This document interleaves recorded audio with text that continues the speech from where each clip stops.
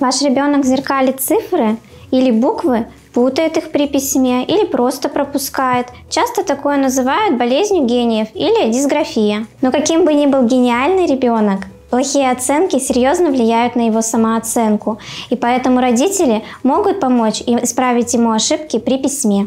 Как помочь ребенку с дисграфией, я расскажу в этом видео. Меня зовут Юлия Гудущикова, я педагог.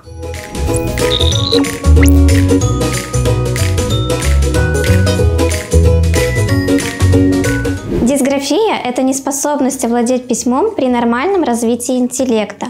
Из наиболее известных людей, которые страдали дисграфией, я могу вам привести в пример английскую писательницу Агату Кристи. Несмотря на проблемы, Агата смогла стать известным писателем во всем мире. Решить эту проблему реально. Для начала нужно обратиться к специалистам, окулисту и лору для того, чтобы убедиться, что со здоровьем вашего ребенка все в порядке. Чем раньше вы заметили, что у вашего ребенка дисграфия, тем проще вам будет устранить проблему. Если ваш ребенок дошкольник, то вы можете помочь ему дома. Но если ребенок учится уже во втором, третьем или даже четвертом классе и испытывает проблемы с письмом постоянно, практически в каждом слове он пропускает буквы, то я рекомендую вам обратиться к неврологу и логопеду. Именно они смогут грамотно и оперативно помочь вашему ребенку. Но если такой возможности нет, смотрите видео дальше, и я покажу ряд упражнений, которые помогут скорректировать дисграфию при письме.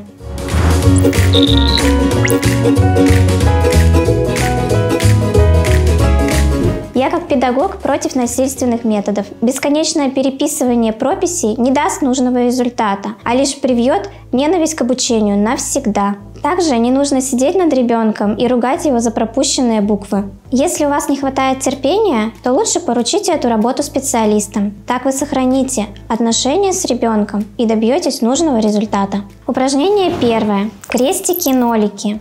Очень простое и доступное. Прекрасно подойдет как для дошкольников, так и для школьников – Берете лист бумаги и на нем прописываете буквы. Можно правильно писать и неправильно. Пусть ребенок в кружочке, в нолике обводит правильные буквы, а крестиками зачеркивает буквы, которые написаны неправильно. Чаще используйте те буквы, в которых ребенок допускает ошибки. Ребенок с дисграфией – это особая работа мозга. Ему очень важно почувствовать эту букву, запомнить ее мышечной памятью, а не только зрительной. Рисуйте на снеге буквы, на песке, лепите из пластилина, из теста, делайте из конструктора или мозаики. Третье упражнение довольно сложное, но эффективное. Изменить в слове одну букву так, чтобы первое слово, отвечающее на вопрос «что», стало отвечать на вопрос «кто». Например, слово «бог» стало словом «бык». Что? Леса. Кто? Лиса. Что? Коса.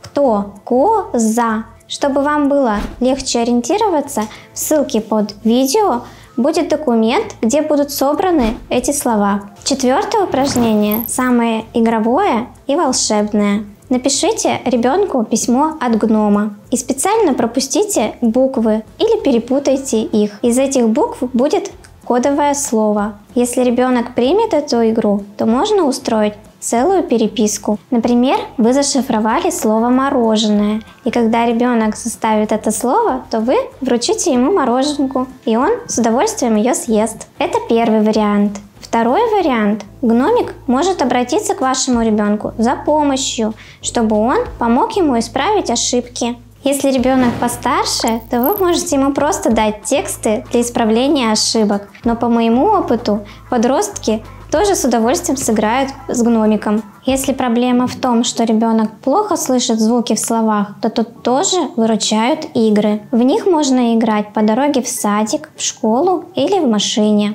Например, всем известная игра в города. Дошкольникам можно упростить задачу. Например, если ты слышишь в слове звук «ш», то хлопни в ладоши. Используйте любой другой проблемный звук. Здесь можно специально путать буквы, баловаться, придумывать несуществующие слова. Детям постарше можно предложить другую игру. Нужно придумать слова из одного длинного слова. Дайте им такое слово, где максимальное количество разных согласных и гласных букв. И пусть они из него составят несколько маленьких слов. Сыграйте в эту игру вместе. Кто больше слов составит, тот и победил. Из всех вышеперечисленных игр можно составить квест, по результатам которого ребенок получит приз. Всегда мотивируйте ребенка, верьте в него и помогите ребенку верить в себя. Вместе почитайте биографии известных людей, которые тоже были дислектиками и дисграфиками. И еще очень рекомендую посмотреть фильм «Звездочки на земле». Помните, что всегда можно увлечь любого ребенка. Да-да, даже вашего. Только нужно подобрать ключик. Поделитесь в комментариях под этим видео, какие способы по исправлению и коррекции дисграфии вы пробовали и какие показались вам наиболее эффективными.